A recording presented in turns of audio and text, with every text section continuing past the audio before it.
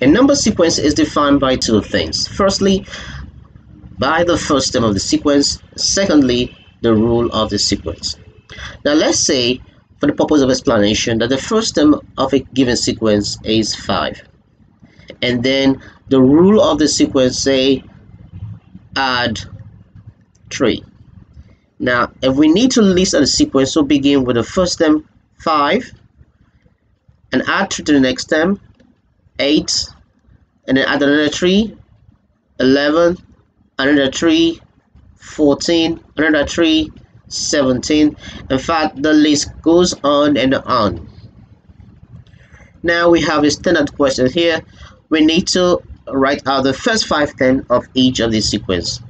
Now the sequence for question A starts at 4 and increases by an addition of 2 so the sequence begins at 4 increases by 2 that's 6 increases by 2 that's 8 increases by 2 10 increases by 2 12 now these are the first five sequence the terms in the sequence. Now in question b we start at 23 and subtract 2 so the sequence begin, sequence looks like something like this.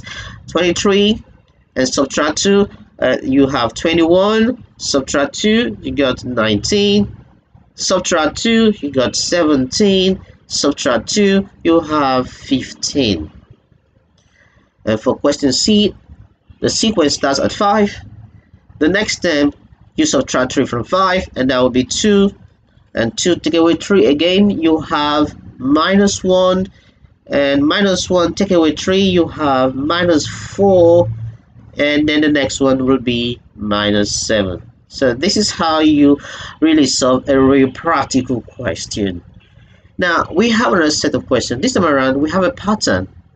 Now in question A, we are asked to write the pattern as a number sequence. So we've got lot of patterns here. Now in the first pattern, you can see that we have four sticks. So as a number sequence, we begin with four. The next pattern, we have how many sticks? One, two, three, four, five, six, seven. We got seven sticks and then the third pattern let's see how many sticks we have. One two three four five six seven eight nine ten. So we got 10 here 10 sticks. So the sequence now is 4 7 10 now question b says what is the rule? Well if you look at question A, you will find that the sequence increases by an addition 3. So the rule here is add 3. And thirdly, uh, the question says find the next two term well it's very easy. If this increases by 3 the next term after 10 will be 13 and I think 16 yep so we have 13 and then 16 now we have the third question. More like the, the second question the one we saw earlier. But this time around we have triangular kind of shape and the question is is write a pattern as a number sequence. So if you look at the first uh, pattern, we have three sticks. So the sequence there is three. The first time the sequence three. The next one, let's see how many sticks we have here. One, two, three, four, five. So we have five sticks here. And the next pattern, let's see how many sticks we have here. One, two, three, four, five, six, seven. We got seven here. So we have seven sticks. So the pattern of the part the, the sequence of the pattern is three, five, seven. Now the question B says, what is the rule? Well, if you look at the sequence above, you find that uh, it follows a particular rule pattern and that is an addition of 2. Okay, so the rule is add 2.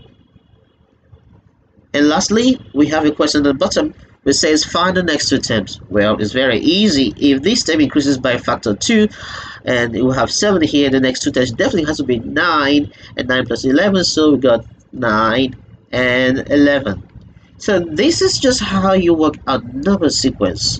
Now in our next video after this, you will be learning how to use the position to term rule to get some questions resolved.